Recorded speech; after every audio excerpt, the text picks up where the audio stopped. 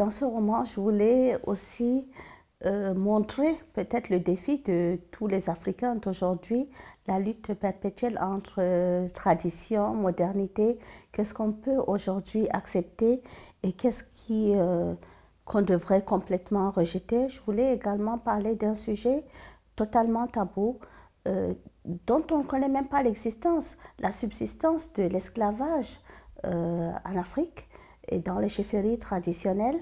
Euh, Seini, un médecin réputé, euh, bien moderne, qui se dit même féministe, euh, qui a épousé l'amour de sa vie, Boussura, professeur de littérature. Ils ont quatre enfants, une belle vie moderne à Yaoundé, la capitale du Cameroun, jusqu'à ce que Seini soit rattrapé par son devoir, puisqu'on découvre qu'il est prince et qu'il est l'héritier donc du trône. au départ, bien entendu, Seini en acceptant de devenir l'amido, c'est-à-dire chef traditionnel, il avait toutes les bonnes intentions, il voulait changer les choses, euh, faire euh, avancer euh, le royaume, puisqu'il faut rappeler quand même que c'est un État dans l'État. Le lamido est garant des traditions, garant de la religion et a toute sa place en réalité dans le système même de l'État.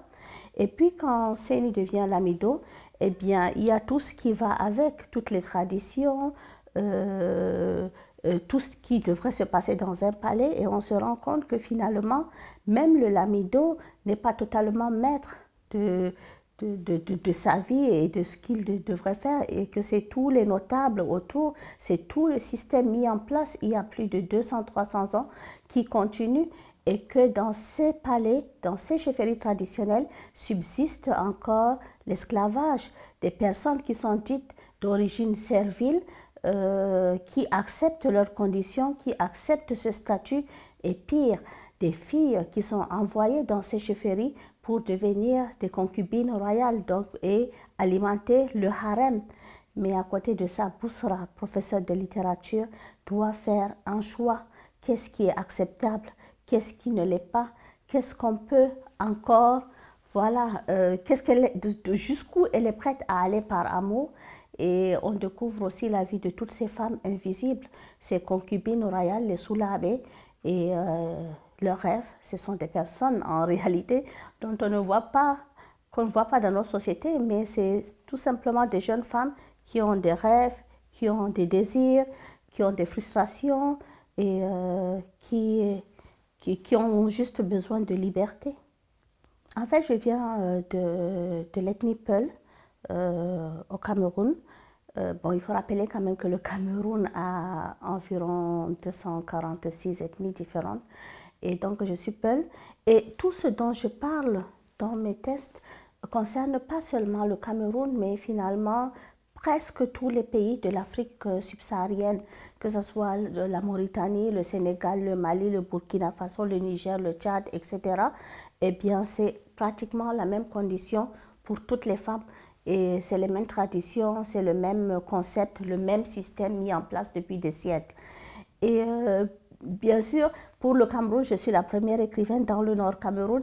Et euh, déjà, rien que le fait de décider d'écrire, de publier, c'est déjà briser un tabou. Et euh, puisque les femmes dans notre tradition ne sont pas censées prendre la parole, ne sont pas censées parler fort et surtout ne peuvent pas parler de certains sujets, la sexualité, la place de la femme, la polygamie, euh, la révolte même, puisque quand on vous taxe de rebelle, en réalité, ce n'est pas un compliment. Et donc, euh, mais une fois qu'on commence, une fois qu'on brise ces tabous, qu'on essaye de briser ces chaînes, à ce moment-là, on se sent tellement libre qu'on peut aborder tous les sujets. Et je pense que c'est ce qui se passe aussi pour moi. Euh, je me suis rendu compte avec le temps que dans mes premiers romans, je me suis moi-même autocensurée tellement j'avais peur d'aller jusqu'au bout des choses, tellement j'avais, euh, j'appréhendais la réaction des lecteurs et autres. Bon, aujourd'hui, je pense avoir dépassé ça aussi, la chance d'avoir euh, une éditrice comme Emmanuel qui encourage, qui est à l'écoute et qui euh, me pousse aussi à aller beaucoup plus loin euh, dans mes retranchements, à ne pas avoir peur voilà, de dire les choses telles qu'elles sont. Est-ce que la société change? Je pense que oui. forcément, ça devrait changer parce qu'aujourd'hui, tous les jeunes sont super connectés, euh, on fait des études, etc. D'une certaine manière, on voit bien l'évolution de la société. D'une autre, il suffit d'une toute petite chose pour briser tout le travail. On s'est rendu compte même avec, euh, euh, il y a une étude de la Banque mondiale qui montrait qu'avec le Covid, les droits des femmes ont reculé de 30 ans. Donc, tout ce qu'on a eu à faire juste par rapport à une épidémie, eh bien, tout s'est écroulé en fait. Il y a plus d'excisions, euh, plus de mariages d'enfants, euh, plus, euh, plus, plus, de tout en fait par rapport aux femmes. Et c'est la même chose quand il y a les guerres, le terrorisme, le changement climatique qui entraîne l'insécurité alimentaire, c'est toujours les premières victimes, c'est toujours les femmes et les filles. Et donc, mais dans tout cela, il y a quand même un brin d'espoir.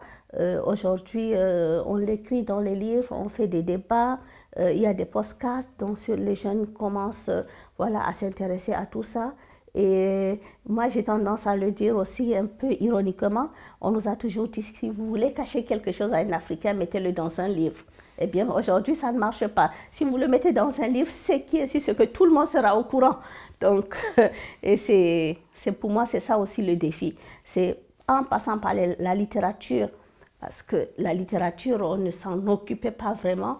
On n'avait pas l'impression que, la littérature avait même toute sa place. Aujourd'hui, euh, on se rend compte que, en fait, non, par le biais de la littérature, on peut vraiment faire évoluer notre société et changer les choses. Pour moi, euh, pour le moment, je sens que je n'ai pas tout dit. Je sens encore le besoin d'en dire plus. Je sens le besoin de continuer à être la voix de toutes ces femmes qui n'ont pas de voix. Et euh, à côté de la littérature, j'ai mon association aussi. Et pour moi, ça va de pair. Donc, euh, je parle d'un sujet, le mariage précoce, par exemple. Et puis, avec l'association, on lutte contre le mariage précoce. On parle des femmes de conditions serviles qui sont dans les lamidas. Aujourd'hui, on va mener des actions aussi pour que ces femmes-là puissent avoir la possibilité de se libérer, de faire des études, etc. Euh, il y a eu euh, tellement de ventes avec le concours des lycéens, eh bien, ça fait déjà deux bibliothèques, une dans le Nord Cameroun, une autre à Douala, qui ont été mises en place grâce à ça. Et le harem du roi, si ça marche, servira aussi à faire, à créer une maison de la femme, euh, un refuge pour toutes ces femmes qui sont en difficulté, parce que ça, on en manque encore.